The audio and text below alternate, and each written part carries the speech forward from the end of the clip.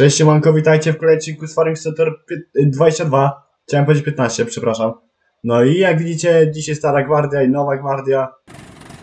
Znaczy no tak pół starej, pół nowej w sumie. No tutaj John Deere to jest nowy nabytek. No ale oczywiście, no to wiadomo, nie jest nowy ciągnik, tak? Znaczy, czy u mnie na gospodarstwie jest, ale nie produkcyjny, ale... Nieważne. Dobra, i, no i Kubota dzisiaj będzie też używana, będzie całe żurką po, po wapnie. Jest cały rozrzutnik wapna kupiony. I dzisiaj John Deere'a będziemy testować z tym rozrzutnikiem, ale będzie szedł jak dzik. Dzik. Ramiona trzeba rozłożyć, okej. No ale na początku za- zapnę szóstkę i... Znaczy szóstkę, ściunkę chciałem powiedzieć. No i jadę rozsypać to co mam w rozrzutniku. I tyle. I pojadę wtedy ten rozrzutnik sprzedać. Bo mi jest niepotrzebny, bo jest za mały. Po, bo po co mi taki lebołcha już zwykłego, 18 ton. To po co mi ten 3,5? Ale że tu jeszcze była 2 tony wapna niecałe, no to, to stwierdziłem, że że to, że to, że to, że to rozsieję? Bo szkoda, szkoda tego wapna po prostu i tyle. Jaki bieg byśmy sobie tu zapięli? Dwójkę? Trójkę?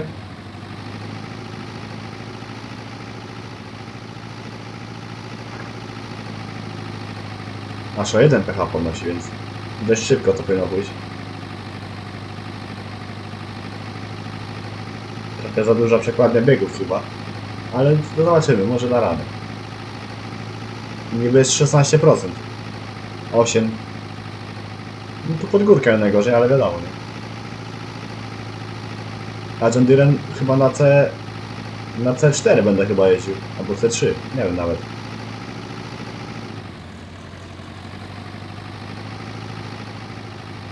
Jak jest jeden... Jeden pH, no to jest 7 ton wapna idzie na hektar, tak? A że mam tu 2 tony, to praktycznie całe pole powinien zrobić. Bo tu pół... Pół hektara tu jest chyba, z tego co pamiętam. Mówię, trochę siódką pojeżdżę, trochę nie. Trochę John się połapnuje. I będzie jak ta lala odcinek. Trochę się talerzy, potalerzuje i prawdopodobnie jak to potalerzuje, to już będzie cały odcinek, nie? No bo w sumie nic innego nie mam jeszcze tej roboty. Ewentualnie mogę jeszcze TMR-a jednego skręcić na odcinku, ale to zobaczymy jak będzie czas. Bo jak nie będzie czasu, no to nie będę kręcił prosto, tak? A przyszedłem sobie na fleta, no bo fleta mam ogarniętego.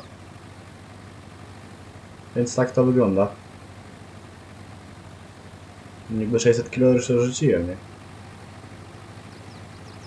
Nie no, ale zobaczycie jak tym, le tym lebołchem tu wiadę, to raz dwa to będzie rozrzucone, nie? No tamten to robi robotę rozrzutnik, a ten to taki no, zabawkowy można powiedzieć.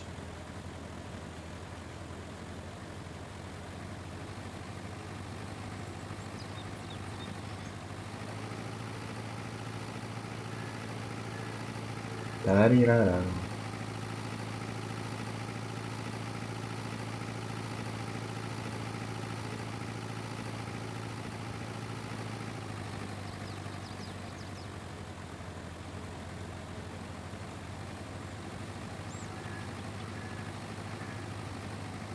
Dobra, to co zrobię poprzeczniak i wtedy lebołchem już nie będę się tak bardzo tych krzaków blisko jechać.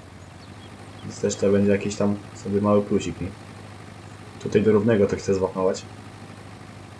Coś, coś takiego. Ale wygina tę siódkę, nie?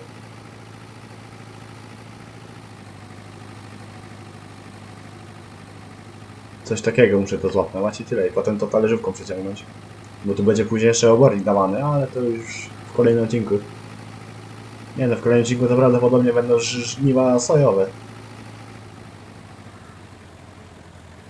Tak coś przeczułem, że będą żniwa sojowe w kolejnym odcinku. Bo by nawet pasowała robota. No bo i tak w sumie ja nie mogę nic siać. Ewentualnie tutaj po rzepaku mogę się coś zasiać, nie? No ale te dwa, w sumie trzy pola co mam, no to ja to raz dwa zasieję. Tym moim 6-metrowym mazurem. No więc tak, no nie wiem, no pomyślę, nie?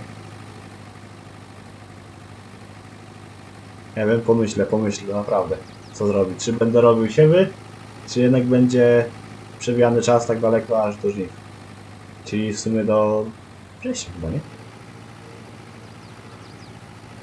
Fajnie jakby we wrześniu było. Bo jakby we wrześniu było, to luks robota by była wtedy. Wtedy we wrześniu mogę siać wszystko, nie? Jęczmień i pszenicę. Właśnie, mam pszenicę jeszcze do koszenia. No to i tak muszę na sierpień się zatrzymać. Muszę się na sierpniu zatrzymać i wtedy... I, o właśnie, i na sierpniu zrobię te dwa małe pola żniwa, szybkie żniwa. Bo to raczej długo nie powinno zająć mi te żniwa. Bo to są dwa małe pola, więc... Do tego dorzucić tutaj obornik na tych dwóch polach, czy tam trzech. To by nie było na kupie, nie?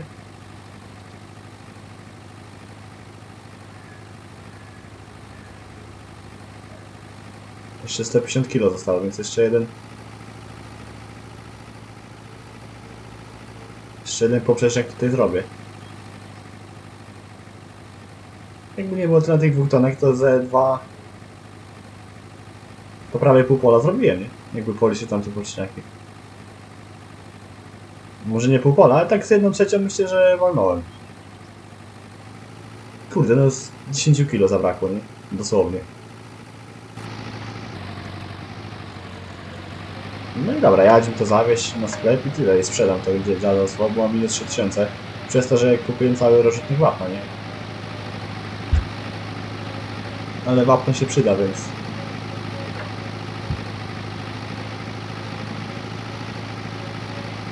No, 60 fps, jak to pięknie wygląda. No i jedziemy dalej z tym rozrzutnikiem.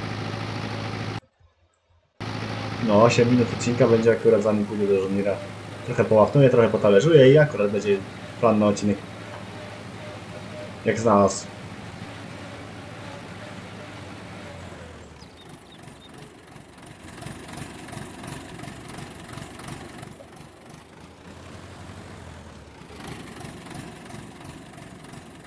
No i sprzedaj za 2500. No to praktycznie sprzedałem 400 tylko jestem na minucie. Dobra, siódka niech tu na razie stoi. Ale się chyba szybko przebiegnę. Mógłbym się przeteleportować, ale to jest bliżej od kota. O, pan. A jak tu się włącza tego?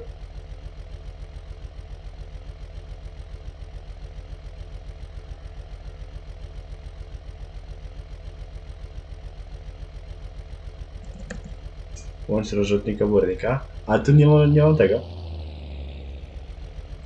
No dobra, czyli muszę z dworu to zamknąć.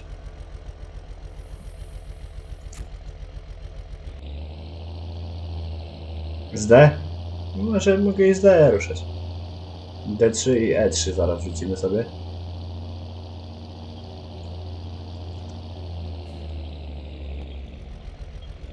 Aha, bo... Mówię, co jest, a ja z tego, żebym rzucił. Wsteczny. Nie no, ale ta kierownica to mnie przeszkadza, w że ten jest tak daleko.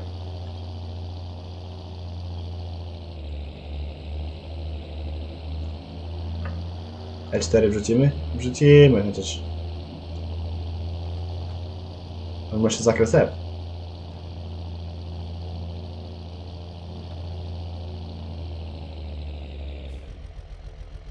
teraz tak, co by tu wrzucić? Tego nie. E, Dwa. Może C. Spróbuję na, dwe, na, D, na D, D2 spróbuję o.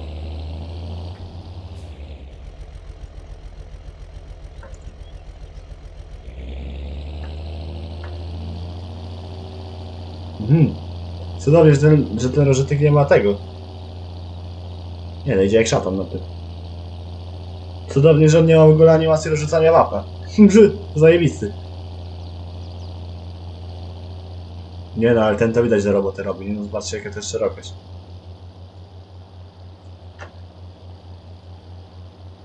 Jest trochę słabo, trochę słabo.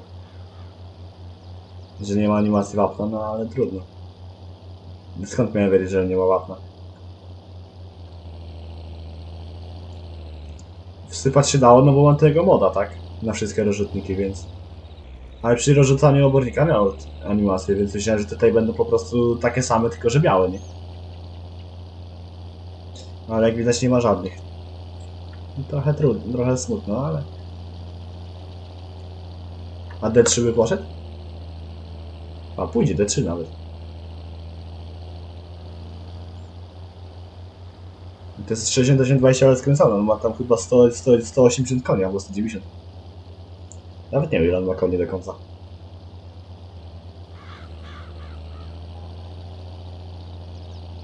A może przez to, że ten mod jest ten more power, dlatego on taką moc ma. Bo tak to on by pewnie nie poszedł aż tak bardzo. Znaczy by poszedł, ale nie aż tak, tak bardzo, nie?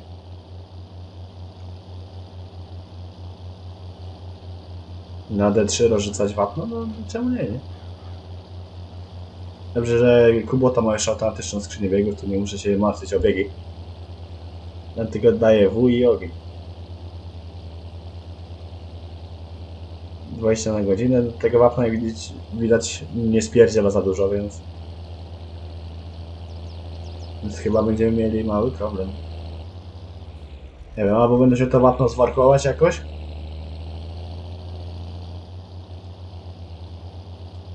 Albo po prostu na hołdę sobie wysypać i tyle.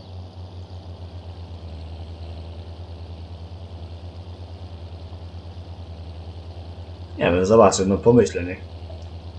15 ton. Bo ja będę potrzebował tego rozrzutnika w sobie na kolejny odcinek już z obornikiem.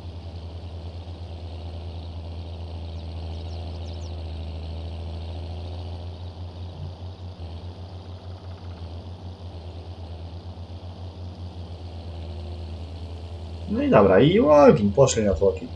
Poszli na tłoki. 15 500, 14 ton gdzieś zostanie.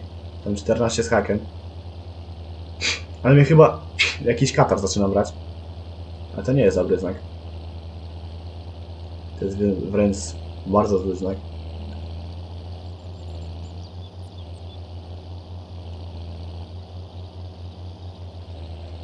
Widzicie, jakbym tym od początku, od, początku odcinka jeździł tym rozrzutnikiem, to raz dwa bym tym poławnowany. Znaczy poławnowane jeszcze będę musiał mieć po, po, po, po, po... Po soi.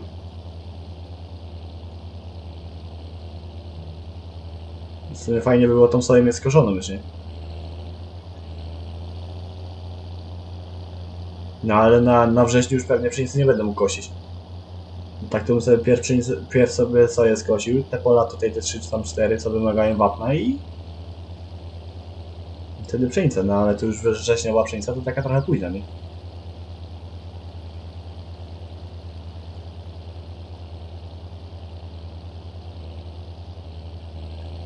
No i dobra, i dziękuję. 13,5 ton zostało.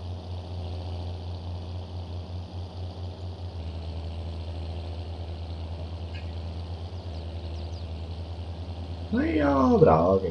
Składamy się i wrzucamy może F od razu. Da radę, da radę. F4 zara pod górę. No i dobra, idzie jak diabeł. Tylko nie wiem, kurde, czemu on nie ma tego IC panelu, nie? Pod shiftem? Czy pod tym shiftem? Czy pod spacją? Aha, no pod spacją, no to przecież nie będzie, bo zapomniałem, że... E, bo dobra, to przez pole pójdę. Bo ja tego John Deere tak dzisiaj już nie będę używał, więc...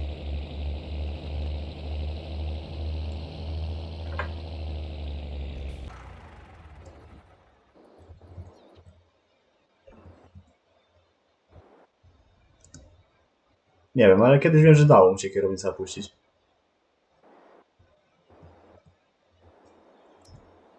A to będzie pisać ile on ma koni? 182, no. Więc dobra, John Deere niech sobie tu stoi. Ja idę do Kuboty i tyle. Za, zatalerzujemy te dwa pola szybko i... No bo jest 15 minuta, zanim to talerzyły, to też będzie z 10 minut, więc akurat będzie taki fajny odcineczek. Nie za krótki, nie za długi. Może by było, że w sam raz by był.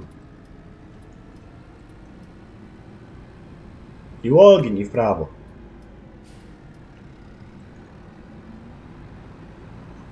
I od którego pola by tu zaczął? Może od tego większego pierw.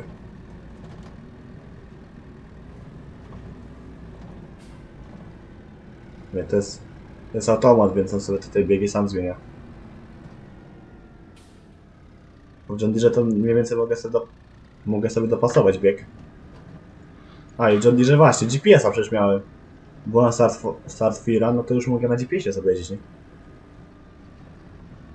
A ja o tym zapomniałem i na rękę jeździłem z tym wapnem, no ale to... W sumie... Więcej roboty było zostawianie tego GPS-a niż to, niż to rozrzucić, nie? Bo tutaj nie ma w sumie takich dużych pól jeszcze, żeby GPS-a używać. A jak tutaj sobie dołożę jeszcze jedną albo dwie łąki, no to wtedy już tutaj GPS, to już wtedy fajna rzecz, nie? Do talerzówki albo coś. Nie no, do talerzówki na razie kubotem będę jeździł. Do tego w sumie ten zestaw był kupiony tak naprawdę.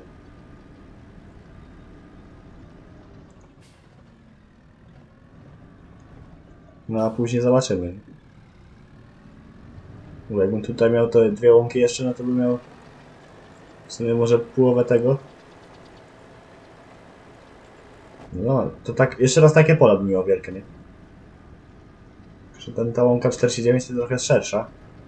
Bardziej w prawo idzie, więc takie miał... Takie jakby te dwa kliny bym musiał tyle robić, no ale... Ja tam wieta. Potem zrobić dwa kliny, uprawić, to tam nie jest problem. Tutaj GPS-a się na prostu ustawia i się jedzie.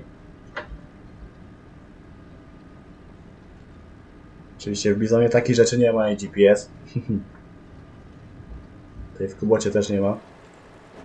Więc na, ry na rynkę. No ale... Powiem wam, że dzięki tej serii no, nauczyłem się grać tak, tak wie, tam, tak trochę bez GPS-a, nie? Przynajmniej na odcinkach. no fajnie tak sobie, sobie na rękę pojeździć.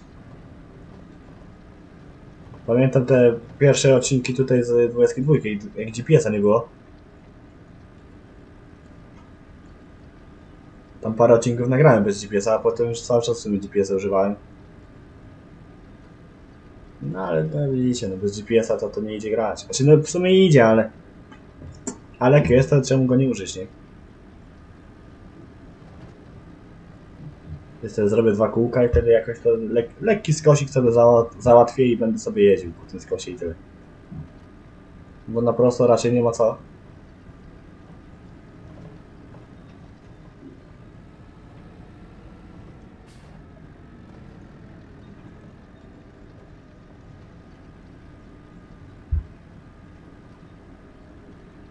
No i tak to wygląda.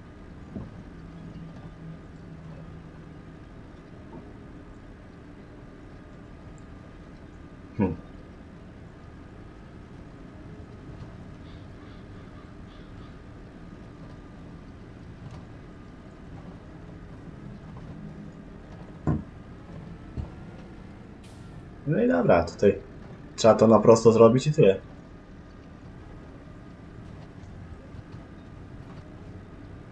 Sobie pod takim skosikiem mogę tutaj jeździć sobie, jak tutaj jest ta miedza. A no dobrą sprawę mógłbym nawet i na prosto to robić? Bo to nie ma w sumie. No jest tylko takie, wiecie, moje widzi mi się, że jadę po skosie.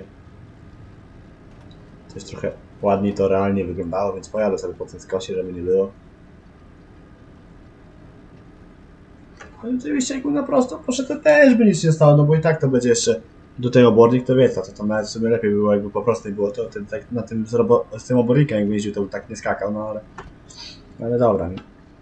No tu będzie obornik, potem... Potem nie wiem co po tym po oborniku. Chyba jeszcze raz talerzyła będzie szła, albo jakaś orka. Albo zrobię sobie orkę, o. Też by nie było głupie, nie? Zrobić orkę sobie po oborniku. Na przykład coś ciekawszego by na kanale było. Oczywiście czwórką, no bo tą moją piątką zagonową, tak? Fajnie jeszcze by sobie poorać, nie? No bo mógłbym od razu sobie kupić szóstkę obrotową, tak? Zawieszaną do Kuboty i do John Deere'a bym miał, tak? Ale no i w sumie case też by poszedł, nie? Bo on tam ma 150 koni, więc też by poszedł. Wiadomo, że z piątką bym miał, czy tam szóst... może bym miał ciężej z tą piątką, no ale... Ale wiadomo, nie by poszedł.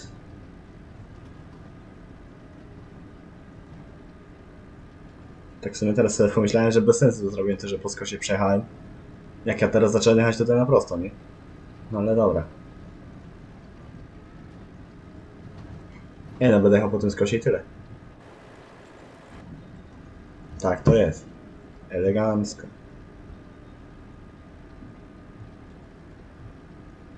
Chwilę Coaster.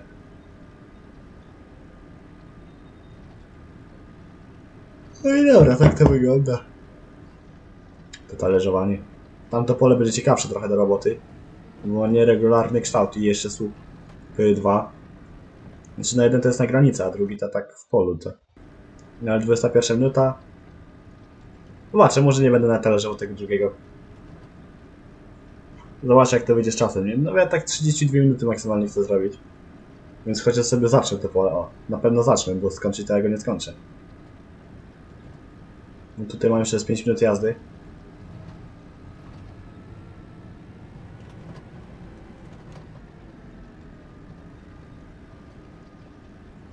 No i okej.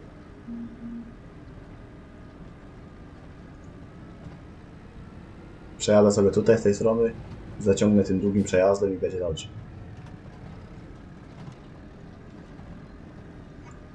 Ciekawe, czy te tale... No nie, no talerzówka jest przystosowana do dużej prędkości, 18 godzin, jak widać, robotkę robi. Ciągnik moc ma, więc... Nie ma problemu. Żadnego.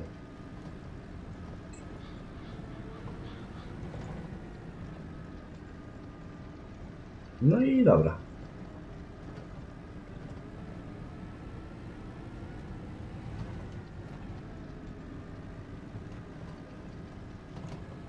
I cyk i pyk, jak to się mówi, nie?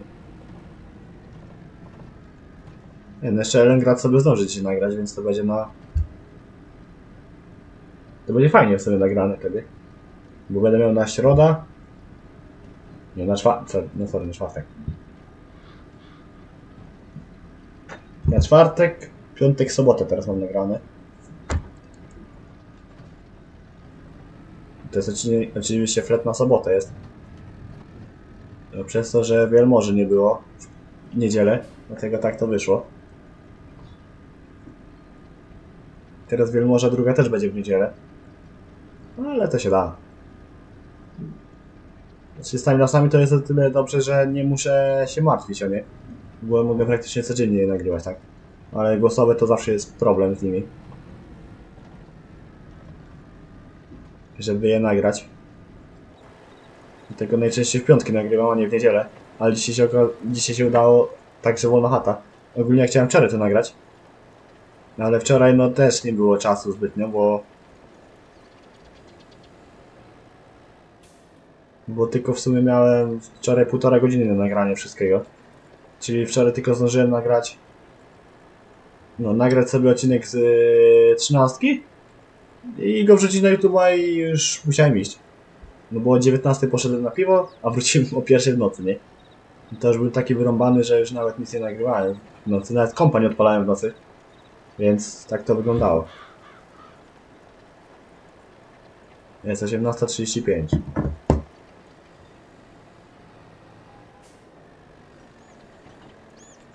No i dobra, jeszcze jeden przejazd i będzie gitara.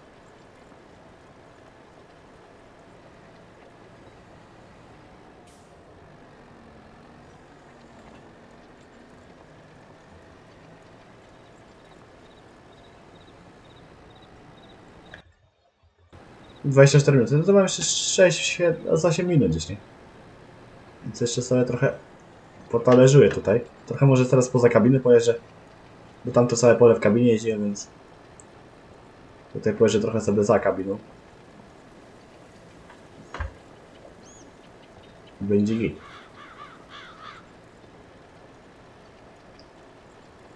Gitara się ma powinna być.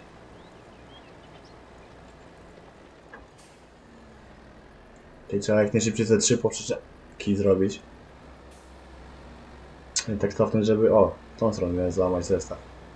A nie w drzewko. Nie no, ale ta kubotka fajna, mi się podoba, nie? Jest chyba jedna najlepsza... M7 i M6 to jest, są dwie najlepsze kuboty. No ta M5 to jest taka sa sadownicza w sumie bardziej.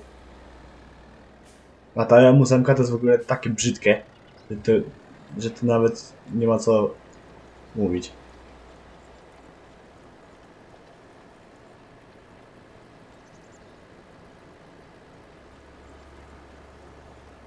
No, John Deere to John Deere. John Deere wiadomo, John Deere zawsze jest ładny, tak.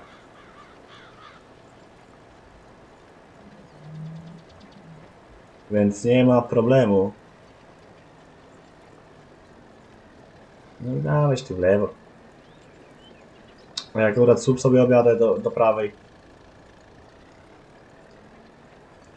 Podniosę talerzówkę. Za słupem opuszczę i słup obrobiony.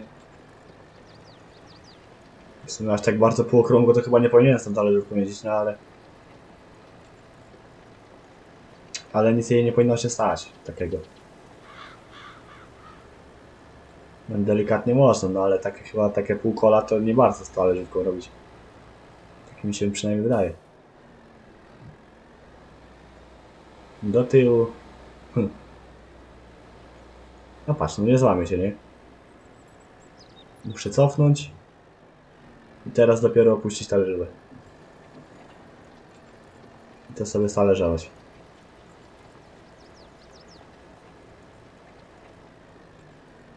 W sumie to może dać jako w formie poprzeczniaka, nie to półokrągłe. Cztery przejazdy. Teraz sobie tutaj na prosto jeździć i tyle.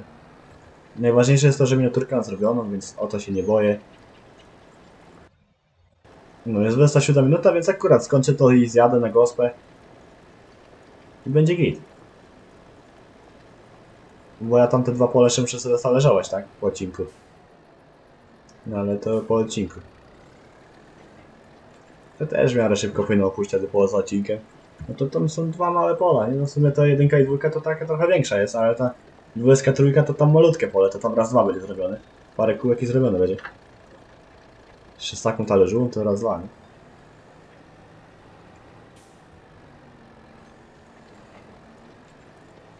Dobrze, ja tamte gówno 4 metrowe sprzedałem, bo...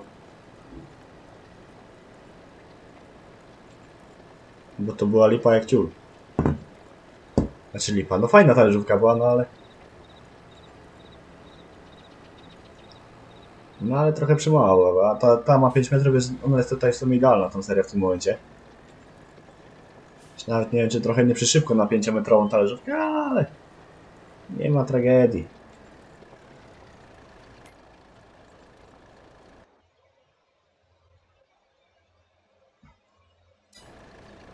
Później może będę próbował jakiś siewnik pójść bez tego, bezorkowy. Od razu w fotalerzywy już bym chciał. A po pszenicy to pewnie od razu bym ściernisko chciał. Tak sobie myślę. No po rzepaku ten jak warto stalerzować, nie?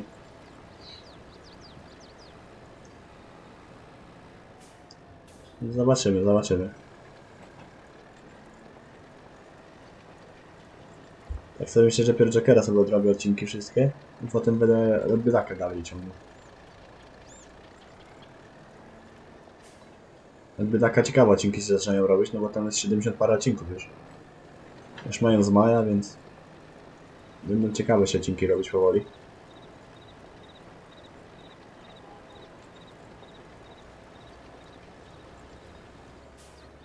Hamuluj. Nie, teraz muszę już tutaj pojechać za słupem, bo muszę tak to naokoło uprawiać, żeby ten słup obrobić.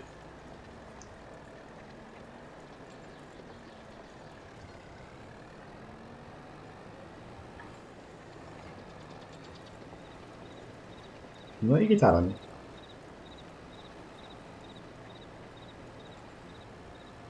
Pięknie to wygląda. 11 luty oczywiście. Jak wy to oglądacie, to już jest dalej. Nawet nie który to już jest luty. Będzie z 17 luty chyba już. No. Więc praktycznie tydzień do przodu odcinek nagrany, no ale o to chodzi, nie? Bo ja głównie w sumie w piątki nagrywam odcinki. Przynajmniej staram się. Bo w tygodniu nie, nie, nie mam zbytnio czasu. A w tygodniu zazwyczaj jest zawsze chata zajęta. Na, na weekend, tam piątek, sobota zawsze jest wolna. Więc wtedy mogę sobie ponagrywać. Więc tak to wygląda. No i dobra, akurat 30 minut. Jak dojadę na, tutaj na te pole, to będzie 31, bo ja tu muszę stależać, więc mogę od razu się rozłożyć nawet tutaj. Tu jest moje pole, tam jest sąsiada, to tam nie będę jeździł.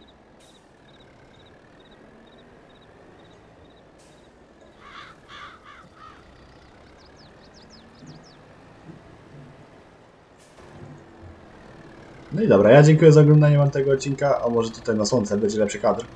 O, ze słońcem to dużo lepiej wygląda. Dziękuję za oglądanie 31 minut, na razie, cześć, papa. Pa.